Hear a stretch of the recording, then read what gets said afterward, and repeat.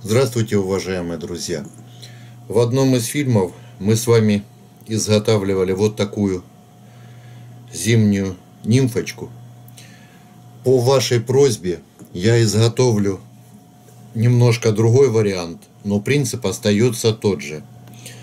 Те же самые элементы, за исключением того, что я поставил уже не латунную бусинку, а учитывая то, что мы будем изготавливать не на 18 крючке, как изготавливали, а на 20 поэтому латунная бусинка 2 мм здесь, как говорится, не проходит. И свинец, который у меня толщиной 0,24-0,25, я прокатал, сделал плоским и, насколько возможно, огрузил нашу нимфу.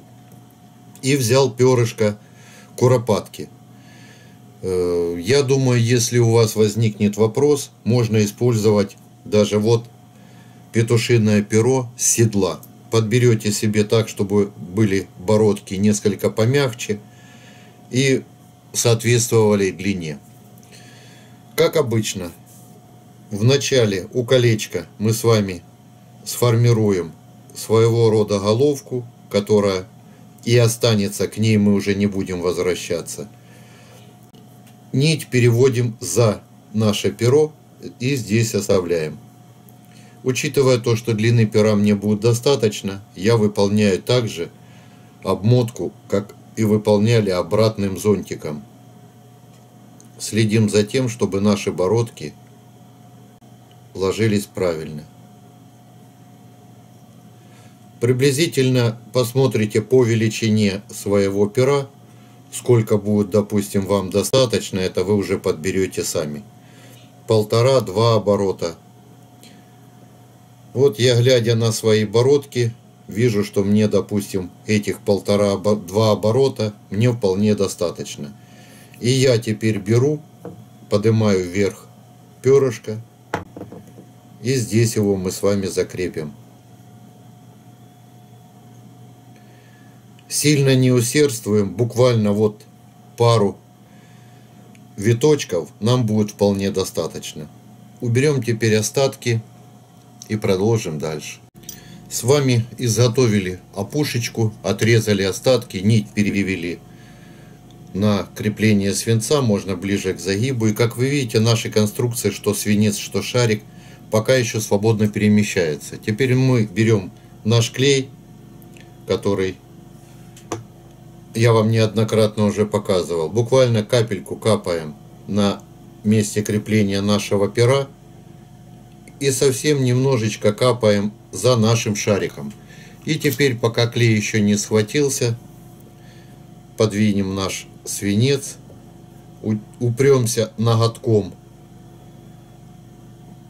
в колечко и подтрамбуем наш шарик. Вот должна выйти у нас вот такая симпатичная конструкция. Если по каким-либо причинам, вот допустим, как у меня, я считаю, что они несколько великоваты, бородки. Можно будет потом в процессе рыбалки вот так все бородки убрать вперед и подрезать на ту величину, которая вас будет устраивать. Но скажу вам сразу, что не совсем влияет вот такая большая величина на лучшие или хуже поклевки наши. Давайте мы сейчас продолжим дальше. Как обычно, промазали немножко клеем наш свинец. Учитывая то, что крючок очень-очень у нас маленький, а желательно будет закрепить у нас необходимые элементы, я начинаю их крепить сразу вот недалеко от нашего шарика. Первым я креплю люрикс, как обычно, можно использовать любой, какой вы сочтете. Если у вас, допустим, по каким-то причинам люрикса нет, как у меня вот голографического, я уже объяснял, можно взять другой люрикс. Плоский, леску, проволоку, все, что у вас будет под руками, используйте. Но в качестве тела мы будем использовать вот такую меланжевую нитку, пусть она вас сильно не утомляет своим названием, это из э, обыкновенных ленточек, которые продаются в галантерейных магазинах. Единственное условие – это то, что она должна быть флуоресцентная. Если у вас имеется э, флуоресцентный юнифлос, пожалуйста, используйте.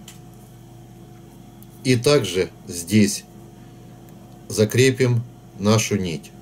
Подтянем немножечко, подровняем края.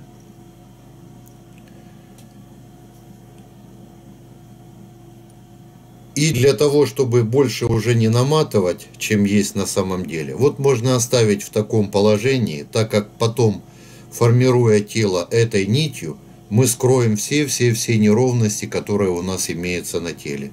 Тело также выполняем в форме червячка личиночки, буквально полмиллиметра не доходим до нашего шарика.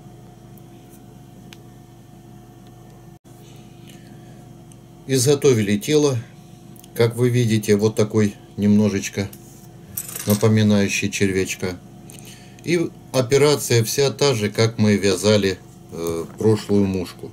Совсем-совсем немножечко, для того, чтобы удобнее было нам наматывать наш люрикс. Капнем лака, так, чтобы не было много. Мы еще потом будем пропитывать. Наклоняем в удобное для нас положение и, используя длину нашего люрикса, делаем 1-2 оборота в жало крючка и выбираем теперь шаг, с которым выполним обмотку по телу.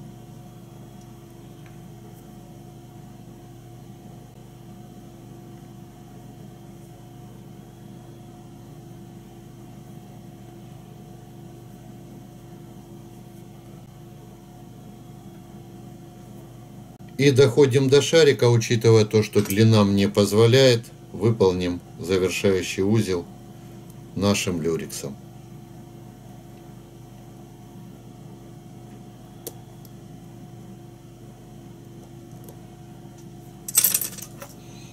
Остатки удаляем.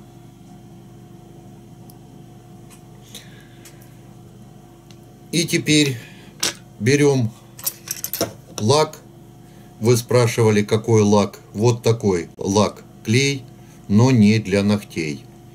Это лак клей глубокого проникновения, и он довольно-таки хорошо его использовать при изготовлении вот таких мушек. Единственное, чем вы можете заменить, это по вашим вопросам. Если у вас имеется вот такой клей. Гель, если имеется вот такой фирмы. Не годится он достаточно, не имеет вязкости, чтобы пропитать нашу с вами э, нитку. Поэтому желательно использовать очень жидкий. Как, допустим, изготовить жидкий, вот такой клей, еще жиже, чем он есть на самом деле, но не потеряв их качество, я потом вам как-то объясню. По вашей просьбе я сделаю потом фильм «Работа с химией». То есть со всеми вот такими клеями, со всем остальным, что облегчит нашу участь. И как обычно, я обычно беру сперва кисточкой, на, нанесу парочку капель. Следим за тем, чтобы не было лишнего. Лишнего нежелательно. Этот лак клей, как и все лаки, которые мы с вами используем, также имеет особенность дать усадку. Поэтому вот мы один раз нанесли, и с вами теперь будем наносить до тех пор, пока равномерно не будет пропитано наше тело. Тело наше подсохло, я закрепил остаток перышка павлина. И теперь буквально вот сколько у нас получится, чтобы не загромождать сильно наше тело, 3-4 оборота сделаем опушку. Вот так. И подхватываем за пером, чтобы не выполнять, как обычно, много оборотов, я на нить нанесу капельку клея и завершим вязание нашей с вами мушки.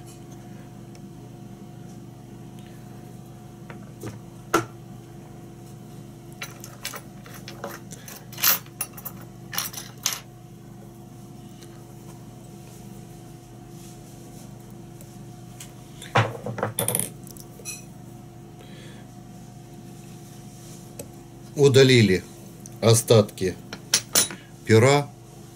И как вы видите, все, наша мушка с вами вот такая симпатичная, готова к работе.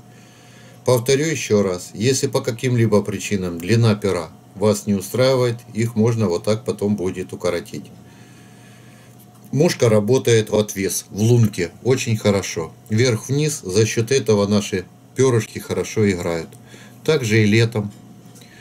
Спасибо за внимание. До скорых встреч.